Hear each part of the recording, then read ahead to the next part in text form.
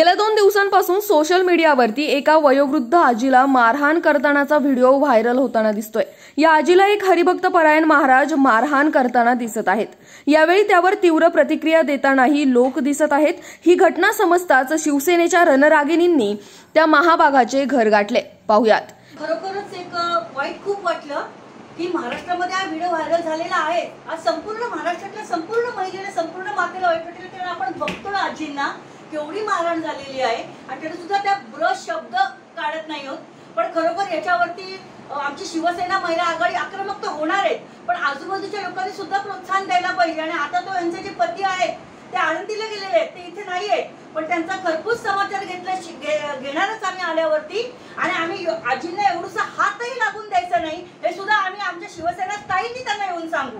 आणि या संदर्भामध्ये मला म्हणजे डोळ्यातलं पाणी थांबलं माझं की काय नाही बघा तुम्ही स्वतः बघा आजींना किती लागलंय जुनं हाड आहे म्हणून ती जखम भरून निघालेली आहे.